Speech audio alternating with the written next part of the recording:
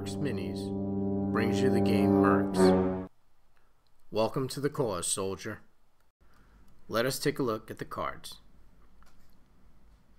So here are the cards that we use to play the game Mercs. A brief overview of the cards is the top of the card is home to all the things you need to know when you roll for initiative. The next section contains an illustration that mirrors the miniature to which the art corresponds to.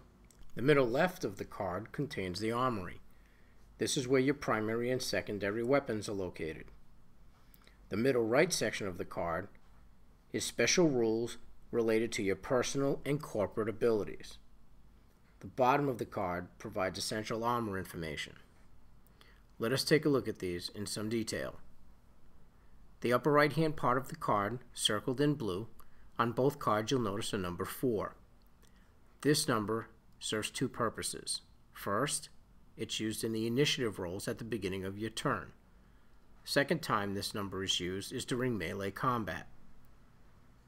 Circled in red in the upper left-hand part of the card are what we call movement points. On one card you'll notice a 2, on the other card you'll notice a 1. The card on the right, during its turn, can move two card lengths, while the model on the left can only move one. The bottom left of the card has that armor value that we talked about.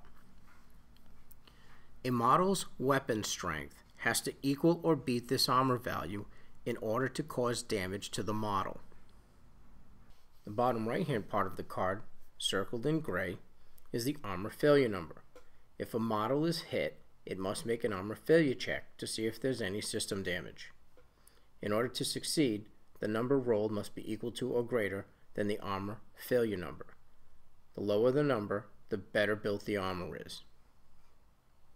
Now, let's move to the two most important features of these cards that really makes Mercs a unique gaming system. The first being the personal and corporate abilities. Second being the movement. Let's discuss the personal and corporate abilities. On the middle right side of the card, located in the colored squares, below the white section are the corporate abilities. These are unique for every Megacon. Let's look at the card on the left. This model's from the CCC. They have nanite armor. This gives a minus one to repair rolls, as well as these will self-heal after two rounds. Model on the right is from the Kemvar Corporation. They have active camouflage. This grants them stealth.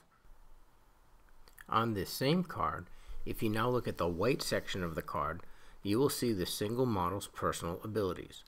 The Kemvar Heavy Assault model has eyes in the back of his head, which prevents him from being attacked from behind. He also has Heroic, which is an ability which gives him plus one to all actions when he is alone. Going back to the CCC Heavy Assault model, you will notice he has Wall of Lead, which causes enemies a plus one on their suppression checks. He also has Brawler, which grants this model a plus 1 to melee damage. If you have not already noticed, around the edge of the card are four semicircles. These circles are the same circumference as a 30 millimeter base of the Mercs figures. When moving, the bottom half circle is always the starting circle. The top center circle represents the furthest point a model can move with 1 MP. This wraps up our first video giving an overview of the card system for Mercs. Be sure to watch our other videos where we go over more rules and dynamics of the game. We'll be sure to include examples from the table. Thanks for watching.